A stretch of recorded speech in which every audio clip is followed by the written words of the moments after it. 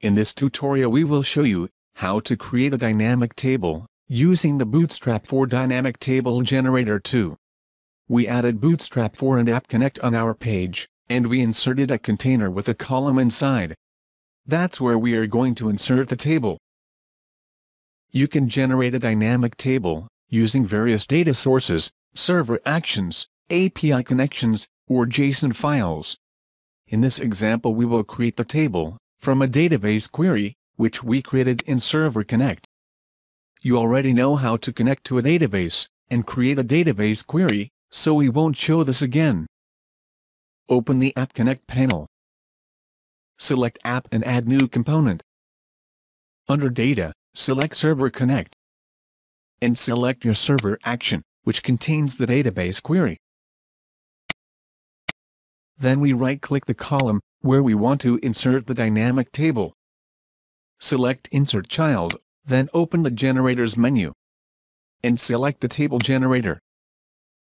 Select the dynamic source, for your table. This is the database query, listed under our Server Connect component. Then select a table layout. We select horizontal, that's the standard table layout.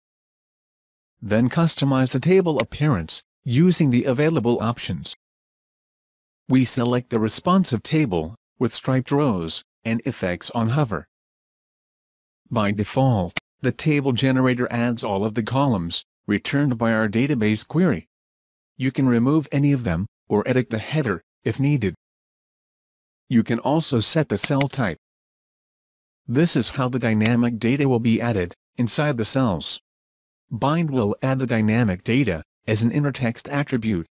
Inner will add the data, inside the cell, wrapped in curly brackets. Set the type to custom, if you plan to add custom content in your cells, such as buttons, custom text or others. Click OK, when you are done. You can see your table, directly in Dreamweaver. If you want to edit your table settings, select the table in the app structure and click the Run button. How easy it is to create a dynamic table using Bootstrap 4 Dynamic Table Generator 2.